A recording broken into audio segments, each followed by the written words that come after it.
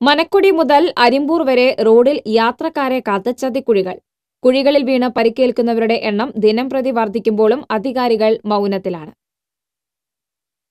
തൃശൂർ വാടാനപ്പള്ളി സംസ്ഥാന പാതയിൽ അരിമ്പൂർ പഞ്ചായത്തിൽപ്പെടുന്ന മനക്കുടി മുതൽ അരിമ്പൂർ വരെ റോഡിലെ വൻ കുഴികളിലും പി ഡബ്ല്യു ഡി എടുത്ത കുഴികളിലും വീഴുന്നവരുടെ എണ്ണം ദിനംപ്രതി വർദ്ധിച്ചു വരുന്നു.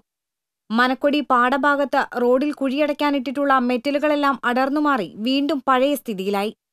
ഇതുമൂലം തിരക്കുള്ള സമയങ്ങളിൽ വൻ ഗതാഗത കുരുക്കാണ്.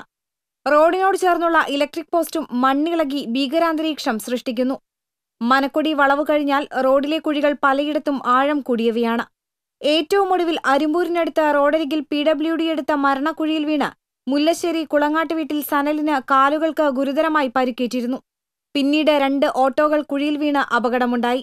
നമ്മുടെ മനക്കുടിയിൽ നിന്ന് ഇങ്ങോട്ട് വളവ് അങ്ങോട്ട് തിരിഞ്ഞ് വരുമ്പോൾ നമ്മുടെ ഉഷ തൊട്ട് ഉഷ വരെ. അവിടെയുള്ളൊരു കുഴികളുടെ എണ്ണം പറയുകയാണെങ്കിൽ എണ്ണ എടുത്ത് കഴിഞ്ഞാൽ കഴിയില്ല ഇവിടെ. എണ്ണ എടുത്ത് കഴിഞ്ഞാൽ കഴിയില്ല നമ്മുടെ മാക്സിമം ഒരു ഇരുപത് കുഴികളതിലുണ്ടാവും ഈ മനക്കുടി തൊട്ട് ഈ പറയുന്ന അരിമ്പൂർ വരെ കുഴികൾ തന്നെയുള്ളൂ എണ്ണത്തിലെടുക്കുകയാണെങ്കിൽ റോഡില്ല കുഴിയിൽ വെള്ളം നിറഞ്ഞാൽ കുഴി ശ്രദ്ധയിൽപ്പെടാതെ അപകടത്തിൽപ്പെടാനുള്ള സാധ്യത വളരെ കൂടുതലാണ്.